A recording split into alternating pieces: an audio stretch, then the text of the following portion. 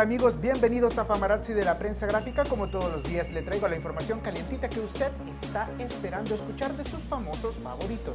Vamos a iniciar primero con Ricky Martin que ha suscitado bastante polémica porque en una entrevista dijo de que quiere que sus hijos sean gay.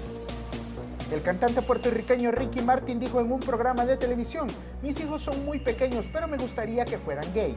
Martin, de 46 años, aseguró que el haber salido del closet fue un momento extraordinario y que le gustaría volver a sentir. Pero al meter a sus hijos, muchos lo han criticado por tratar de inducirlos a este tipo de preferencia sexual. Bueno, y ahora que está soltera nuevamente, Rihanna le ha dicho a todos sus seguidores que no planea reunirse por nada del mundo con su ex Chris Brown. Un informante dijo de que Rihanna nunca pensó en reconciliarse con Chris Brown y que ella piensa que reencender el amor con Chris es una causa perdida, porque ha pasado mucho tiempo y fue una relación que le causó mucho daño y aseguró que no tiene ningún interés en el rapero. Ella no quiere volver a ese momento de su vida que es demasiado doloroso.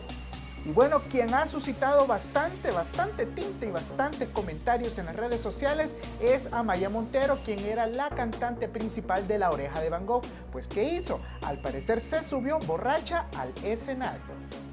A través de videos compartidos en las redes sociales se puede ver a la española Amaya Montero aparentemente teniendo dificultad para expresarse, por lo que muchos de sus seguidores atribuyeron a que estaba borracha.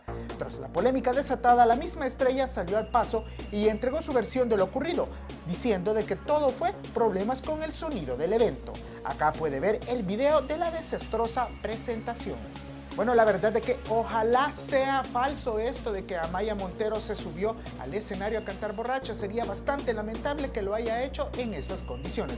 Yo me despido hasta acá invitándole a todos los hombres a que siempre visiten cualquiera de las cuatro sucursales de la barbería Rufian, que están en Metrocentro, Zona Rosa, Plaza Mundo y Multiplaza. Ahí tienen una amplia gama de servicios para que usted utilice. Yo soy Héctor Acosta y hasta acá con Famarazzi.